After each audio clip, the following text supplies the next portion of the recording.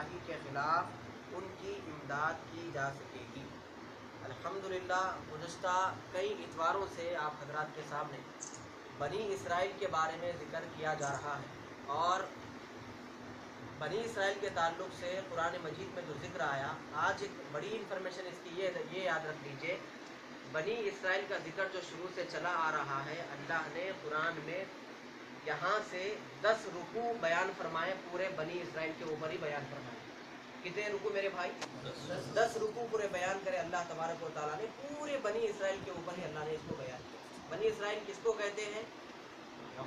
یعقوب علیہ السلام کی اولاد کو کہتے ہیں۔ یعقوب علیہ السلام کس کی اولاد میں سے ہے؟ اسحاق علیہ السلام۔ کے۔ اسحاق علیہ السلام کس کے بیٹے ہیں؟ ابراہیم علیہ السلام۔ اب اسحاق علیہ السلام کی اولاد سے حضرت یعقوب علیہ السلام یعقوب علیہ السلام کی اولاد سے لاکھوں کی تعداد میں ہزاروں کی تعداد میں انبیاء کرام آئے حضرت موسیٰ بھی وہیں سے ہے ٹھیک ہے؟ لیکن ہمارے نبی کریم سرکار دو عالم صلی اللہ علیہ وسلم بنی اسرائیل سے نہیں ہے۔ بلکہ حضرت اسماعیل علیہ السلاۃ والسلام کی اولاد سے ہے یہ یاد رکھیے اور مجھے اچھا یہ لگا جب میں درود شریف ابھی جب ہم ہم سب جب درود شریف پڑھ رہے تھے اہل سنت کی قسمت پر سلام کرے میرے بھائی۔ اہل سنت کا خاصہ دیکھیے کیا ہے درود پڑھتے ہیں تو اللہ کہہ رہے ہیں، اللہ کا بھی نام آ رہا ہے۔ صلی اعلیٰ سیدنا محمد کہہ رہے ہیں، سرکار کا بھی نام آ رہا ہے۔ والا علی کہہ رہے ہیں، پورے آل کا بھی نام آ رہا ہے۔ اس آل میں مولائے کائنات سے لے کر، سیدہ فاطمہ سے لے کر، حضرت حسنین کریمین بھی آ رہے ہیں۔ جی امام زین العابدین بھی آ رہے ہیں۔ غوث پاک بھی آ رہے ہیں، غریب نواز بھی آ رہے ہیں داتا گنج بخش بھی آ رہے ہیں۔ جی یوسفین شریفین بھی آ رہے ہیں۔ بانی جامع نظامیہ بھی آ رہے ہیں۔ جتنے سید زادے، سید عبداللہ شاہ صاحب رحمۃ اللہ علیہ بھی آ رہے ہیں۔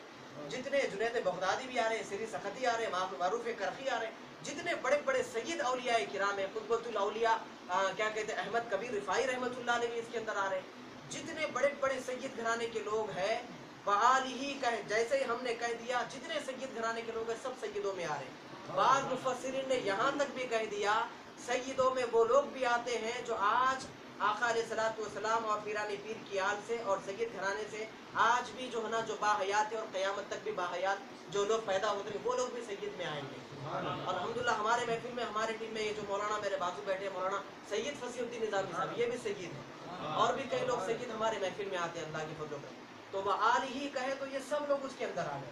اہل سنت کی جو نا قسمت دیکھیے اتنے لوگوں کو ایک ہی وقت میں یاد کر رہے ہیں۔ سمجھ رہے ہیں؟ اور اور سنیے آپ بڑی بات۔ ٹھیک ہے، یہ تو سیدوں کی جماعت ہو گئی۔ اب غیر سید بھی ہے نا بھائی، جیسا کہ بانی جامع نظامیہ سید نہیں ہے۔ اور امام احمد رضا خان فاضل بریلوی یہ بھی سید نہیں ہے۔ میں بھی سید نہیں ہوں، انہوں سید نہیں ہے، اب کئی حضرات محمد ہے۔ تو وصحب ہی کہا جا رہا ہے۔ کیا کہا جا رہا ہے؟ وصحب ہی وصحبی کے اندر حضرت ابو بکر سید نہیں ہے، عمر فاروق سید نہیں ہے، حضرت عثمان غنی سید نہیں ہے۔ ایک لاکھ چوبیس ہزار سے کئی زیادہ صحابہ کرام میں کوئی سید نہیں ہے۔ تو وصحب ہی جیسے ہی ہم کہہ دیے اس میں حضرت ابو بکر بھی آ گئے حضرت عمر فاروق بھی آ گئے عثمان غنی بھی آ گئے عبد الرحمان بن عوف بھی آ گئے حضرت طلحہ بھی آ گئے حضرت زبیر بھی آ گئے حضرت سعد بھی آ گئے حضرت سعید بھی آ گئے حضرت عبد الرحمان بن عوف بھی آ گئے حضرت کیا کہتے ہیں بڑے بڑے جتنے بھی صحابہ کرام پورے اس کے اندر آ گئے اہل سنت کی قسمت کو سلام یہ ہے ایک درود پڑھ لیا لاکھوں کو یاد کر لیا یہ درود کا خاصہ یہ اور آپ خوش نصیب اس لیے ہے ہم درود پڑھ رہے ہیں تو ایسی شب میں پڑھ رہے ہیں، اتوار کا تو دن ہے، لیکن رات پیر کی لگ چکی ہے۔ جو آقا کی ولادت کا دن ہے۔ اور پیر کے دن حضور اکرم صلی اللہ علیہ وسلم روزہ رکھا کرتے ہیں۔ یہ ضمن بات آ گئی تو میں آپ کے سامنے عرض کر دیا۔ اولاد یعقوب کو کہا جا رہا ہے، بنی اسرائیل کو کہا جا رہا ہے کہ یاد کرو، ارے میں تم کو کیا نہیں دیا؟ تم کو عزت دی، دولت دی، شہرت دی، شجاعت دی، بہادری دی، ہر کچھ دیا میں تم کو۔ اللہ فرما رہا ہے۔ ارے تمہارے پاس بڑے بڑے انبیاء کرام آئے، بننا وہ سلوا تم پر نازل ہوا، دسترخوان کو بیچا گیا، تم کو امن دیا، عافیت دیا سیکورٹی تم کو دی گئی۔ اس کے باوجود بھی تم ہماری نافرمانی بھی کر رہے ہو یہ کیوں کر تم کر رہے ہو؟ اچھا اور ایک چیز آگے کیا کہہ رہا ہے اللہ تبارک و تعالیٰ؟ وَاتَّقُوا يَوْمَ اللَّهَ تَجْزِي۔ یہودیوں کے اندر کچھ کیا تھا میرے بھائی؟ اب مین بات یہاں سے عرض کر رہا ہوں اس کو غور سے سنیے۔ یہودی جو لوگ تھے، جو اسحاق علیہ السلام کی، یعقوب علیہ السلام کی اولاد سے جو آئے یہودی اس میں سے جو نکلے یعنی جو ان لوگوں کو بھی نہیں مانے یعنی یہ لوگوں کا طریقہ یہ تھا، یہ لوگوں کا کہنا یہ تھا کہ کاش اگر محمد علی صلی اللہ علیہ وسلم حضرت اسماعیل کی اولاد سے کے بجائے حضرت اسحاق کی اولاد سے آتے تو ہم ان کے فالوور ہو جاتے۔ تو ان سے جب پوچھا گیا کہ تم جب محمد عربی پر ایمان نہیں لا رہے، تو ایمان نہیں لائے تو پھر تم، تمہارا خیال کیا ہے؟ کیا سوچتے کیا ہو تم؟ تمہاری تھنکنگ کیا ہے؟ سوچنا کیا ہے تمہاری؟ تو معلوم ہے یہ لوگ رپلے کیا دیے یہ لوگوں کا رپلے یہ تھا کہ ہم کو ہمارے باپ دادا حضرت یعقوب، حضرت اسحاق محشر کے میدان میں بچا لیں گے۔ ہم جو گناہ کر رہے ہیں، وہ آگے بھی کرتے رہیں گے۔ یہ گناہ کی معافی بھی وہ لوگ مانگ لیں گے۔ سمجھ رہے آپ میری بات؟ قیامت کے دن ہمارے گناہوں کی معافی یہ لوگ مانگیں گے اور یہ لوگوں کی مانگنے کی وجہ سے اللہ ہمارے گناہوں کو معاف کرے گا۔ یہ لوگوں کی سوچ تھی۔ تو اس کی رد میں اللہ تبارک و تعالیٰ نے اس آیت کریمہ کو نازل فرمایا۔ اور اس دن سے ڈرو جس دن کوئی جان کسی دوسرے کی طرف سے کچھ بدلہ نہ دے سکے گی۔ یعنی ایک کی وجہ سے دوسرے کو محشر کے میدان میں فائدہ نہیں ہوگا۔ اب ہوا کیا؟ یہ آیت نازل ہوئی یہودیوں کے تعلق سے۔ کس کے تعلق سے؟ یہودیوں کے تعلق سے۔ نازل ہوئی یہودیوں کے تعلق سے۔ غیر اہل سنت والوں نے یہودیوں کے پاس سے اس آیت کو نکالا، اہل سنت کی پیشانی پہ چپکا دیا۔ کیا کہہ کر دیکھو اللہ کیا بول رہا؟ محشر کے میدان میں کوئی کسی کا نہیں ہوگا۔ کسی کے بارے میں کوئی سفارش کرے گا تو کوئی سفارش قبول نہیں ہوگی۔ کوئی شفاعت نہیں ہوگی، کچھ نہیں ہوگا۔ سنیو تم کیا کر رہے؟ کبھی تم بول رہے غوث پاک بچائیں گے، کبھی تم بول رہے غریب نواز بچائیں گے، کبھی بول رہے کچھ، کبھی بول رہے کچھ، کبھی بول رہے تم ہمارے آقا ہمیں بچائیں گے۔ محشر کے میدان میں یہاں تو اللہ بول رہا قرآن مجید میں؟ کوئی کسی کا سفارش نہیں کرے گا۔ اور کسی کی سفارش قبول میں نہیں کیے جائے گی۔ کوئی شفاعت نہیں ہوگا۔ یہاں تو اللہ بول رہا، اور تم جو نا غوث پاک کے اوپر بھروسہ کر کے بیٹھے ہوئے۔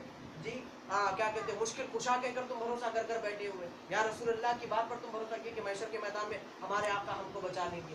آیت نازل ہوئی یہودیوں کے بارے میں اور اس کو چپکایا گیا سنیوں کی پیشانی پر۔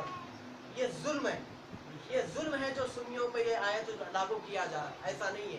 یہ کس لیے نازل کیا گیا؟ یہ آیت کا پس منظر کیا ہے؟ یہ آیت کا شان نزول کیا ہے؟ اس آیت میں کیا بولا جا رہا؟ نہ عیسیٰ کو دیکھے، نہ موسیٰ کو دیکھے، اٹھائے جو منہ کو آیا بول دیے۔ ایسا کیسا ہوگا میرے بھائی؟ اسی کی وجہ سے اہل سنت کے جو نوجوان بچے ہیں، کالج کے بچے ہیں اسٹوڈنٹ ہیں ڈگری پڑھ رہے ہیں، وہ بچوں کو جب یہ کچھ لوگ کوٹ پینٹ والے جب یہ باتیں سنائیں، دیکھو میرے بھائی قرآن پکڑ کے بتاتے معلوم آپ کو ایک چھوٹی قرآن آتی، سعودی میں چھپتی قرآن میں، وہ قرآن پکڑ کے کھولتا ہوں کھول کے ایسا زوم کر کے دیکھو یہاں پر لکھا ہے، کیا لکھا ہوا وہاں پر؟ ولا یقبل منہا شفاعت ولا یقبل کوئی شفاعت قبول نہیں کی جائے گی۔ جیسے ہمارا بچہ یہ لفظ دیکھا قرآن کا اور اس کا ترجمہ سن لیا، گھبرا گیا ایک دم۔ ارے ہاں بھائی، کوئی شفاعت اللہ اللہ قرآن میں بول رہا، یا میرے سامنے رکھا ہوا۔ قرآن میں بول رہا، کوئی شفاعت قبول نہیں ہوگی۔ اس کا مطلب سرکار ہم کو کام نہیں کام نہیں آئیں گے یعنی سرکار کی شفاعت قبول نہیں ہوں گی۔ ارے اللہ کے بندے ذرا سوچ تو صحیح، ذرا سمجھ تو صحیح، یہودیوں کے بارے میں کہا جا رہا ہے۔ یہودی مسلمان نہیں تھا۔ کیا نہیں تھا؟ مسلمان نہیں تھا۔ تو جو اللہ کا نہیں ہوگا، اللہ اس کی سفارش کیوں قبول کرے گا؟ سمجھ رہے میری بات آپ؟ اگر کوئی نیک ولی ہے یعنی ولی کامل ہے، اگر وہ معیشر کے میدان میں کسی کا ہاتھ پکڑ کے اگر یہ بولے، مالک، یہ میں تو تیرا ولی ہوں اور تو وعدہ کرا کہ میری دعا کو تو قبول کرے گا۔ یہ میں جس کا ہاتھ پکڑا ہوں یہ مسلمان نہیں تھا کافر تھا دنیا میں لیکن میں ریکویسٹ کرتا ہوں کہ اسے جنت میں ڈال دے۔ اس کے باوجود بھی اللہ اس ولی کی ریکویسٹ کو قبول نہیں کرے گا۔ کیوں نہیں کرے گا؟ اس لیے کہ وہ بندہ مسلمان نہیں تھا۔ شفاعت اس کی قبول کی جائے گی جو مسلمان ہوگا۔ کیا ہوگا؟ سمجھ رہے میری بات ہے کانسیپٹ سمجھیے آپ۔ جو مسلمان ہوگا شفاعت اس کی قبول کی جائے گی۔ اچھا ٹھیک ہے۔ یہ جو ولی ریکویسٹ کرے تھے، یہ اپنی طرف سے نہیں کریں گے۔ کیا کریں گے؟ اپنی طرف سے نہیں کریں گے۔ اللہ کہے گا، اے عبد القادر جیلانی، دنیا میں تو میرا تھا، میں تیرا تھا۔ دنیا میں تو میری بات مانا۔ آج میں تیری دعا، ہر دعا کو قبول کرتا ہوں۔ جو مانگنا ہے، مانگ لے۔ تب عبد القادر جیلانی قادریوں کو بلائیں گے۔ تو یہ حکم ہوگا۔ الا کون ہے جو اللہ کی بارگاہ میں سفارش کرے؟ سفارش کریں گے، لیکن خدا کے اذن سے کریں گے، خدا کی پرمیشن سے کریں گے، خدا کی اجازت سے کریں گے۔ بغیر خدا کی اجازت کے کوئی زبان تک نہ کھول سکے گا۔ اور یاد رکھے، رب کی بارگاہ سے سب سے پہلے جس کسی کو اجازت ملے گی ریکویسٹ کرنے کی، شفاعت کرنے کی، تو محمد عربی صلی اللہ علیہ وسلم۔ اور آخری بات کہہ کر میں اپنی بات کو ختم کرنا چاہوں گا، اللہ کی عدالت میں ایک ہوتا ہے وکیل ایک ہوتا ہے شفیع۔ کیا ہوتا ہے؟ ایک ہوتا ہے وکیل ایک ہوتا ہے شفیع۔ وکیل عدالت میں یہ کہتا ہے کہ میرے کلائنٹ نے یعنی میرے مجرم نے کچھ نہیں کیا ہے اس کو بخش دو چھوڑ دو یہ کہتا ہے۔ یہ وکیل ہے اور سرکار کو وکیل نہیں کہا گیا شفیع کہا گیا۔ معلوم ہے کیوں کہا گیا؟ شفیع کیا کہتا ہے؟ غلام میرا ہے سب کچھ کیا ہے اس کو نہ دیکھ مجھے دیکھ کر معاف کر دے یہ شفیع ہوتا ہے یہ ہمارے آقا ہے۔ تو ہم کو امید ہے، پوری لگاؤ ہے جستجو ہے، ہمارا ایمان ہے، ہمارا ایقان ہے، ہمارا وجدان ہے۔ ہماری جو ہے نا دل کی کیفیتیں ہمیں پکار پکار کر کہتی ہے، جس نبی کا کلمہ پڑے ہیں، وہ نبی ہم کو بچائے گا۔ اور ایک بات کہہ کر میں اپنی بات کو ختم کروں گا سراط الدینہ انعمت علیہم۔ ان لوگوں کے راستے پر چلا جن پر تیرا انعام ہوا۔ تو سنیوں میں کانسیپٹ کیا ہو گیا؟ نماز الگ کو پڑھو، شفاعت ہو جائیں گی۔ روزے نہ کرو، کون سے ارے، نبی بچانے والے ہیں نا بھائی۔ مولانا لوگ خود تعریفاں ہواں دار تقریرا کر کے بولے سنیو ڈرو نہ غوث پاک کا دامن ہے، غریب نواز کا دامن ہے۔ بول کے جو نا سنیت علماء کرام دھواں دار تقریرا کر کے بچے کیا ہو گئے بیٹھ تو جو کرنا ہے کرو، دیکھا جائے گا جو ہوگا۔ ہاں، بچانے بہت تھے اپنے کو، لائٹ لگی ہوئی ہے۔ اب یہ ذہن میں بات بڑھ تو سراط الدینہ انم تعلیم جو بولے نا، راستے پہ چلا بول کے، کن کے راستے پہ؟ نیک نو کے راستے پہ۔ تو وہ اپن راستے پہ چل رہے تھے وہیں رک گئے۔ سمجھ رہے بات آپ؟ چلا بولا اللہ تعالیٰ کیا بولا؟ چلا۔ چلے تو منزل ملتی نا میرے بھائی۔ تو اپن چل رہے ہی نہیں۔ بول رہے گوسے پاک آپ آگے چلے گئے میں یہی سے پکڑ دوں وہی سے بلا لو بول رہے۔ گوسے پاک بولے بندے ایسا نہیں ہوتا۔ ارے میرا غلام ساتھ میں آ۔ کیا؟ پیچھے پیچھے آتے جا۔ جہاں جہاں شیطان ڈاکہ ڈالے گا ہاتھ پکڑ کے کھینچ لوں گا۔ ہم کیا سوچ رہی ہے انہوں آگے نکل گئے۔ ہم تو غوث پاک کے راستے پہ چلے لیکن آگے نہیں چاہیں گے۔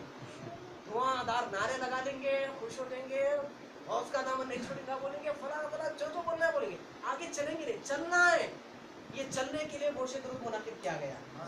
میں امید کرتا ہوں کہ آپ ہر آئیں گے۔ الحمد للہ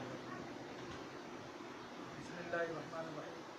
ان الله وملائكته يصلون على النبي يا ايها الذين امنوا يا ايها الذين امنوا صلوا عليه وسلموا تسليما اللهم صل على سيدنا ومولانا محمد وعلى آل صحبك تقبل صلواتك وعدد معلوماتك وبارك